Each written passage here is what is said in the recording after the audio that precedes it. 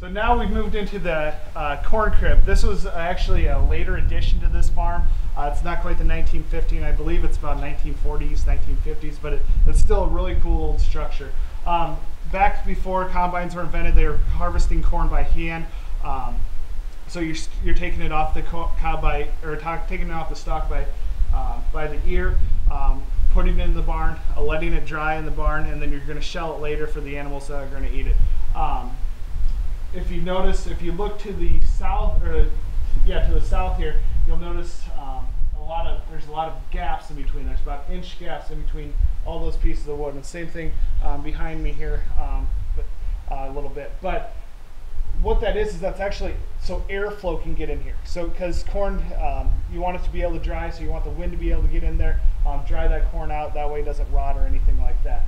Um, after you've got it in here, uh, in the fall. One thing that you, one of the things that you're probably going to do through the wintertime or have the kids doing all throughout the wintertime is shelling corn. And that's what actually this machine right in front of me is. Um, so you take the eared corn out of the barn or out of the corn crib.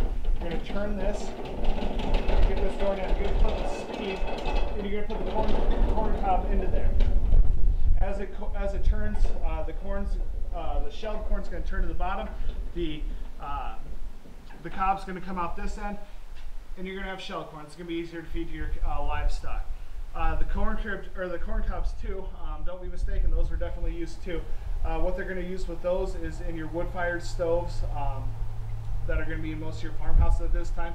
They're going to um, they're going to um, use those in the stove, so it's going to cook, um, help to get your um, get your stove started. And it's also going to help to get your fire burning really nice and hot. A lot of times, I like to compare putting corn stock corn cobs into your stove like um, use them in microwave because it's going to get your stuff hot really fast, really quick. So that's going to warm your house up really nice in the wintertime when it's uh, 10 below zero outside. So uh, all the corn was, all, or most parts of the corn were used. So um, if you'll notice too, uh, we have a corn picker behind me. We have some knives. They're going to let the pig um, hang out um, so it can dry um, and get all the fluids out so that way you can cut it up later.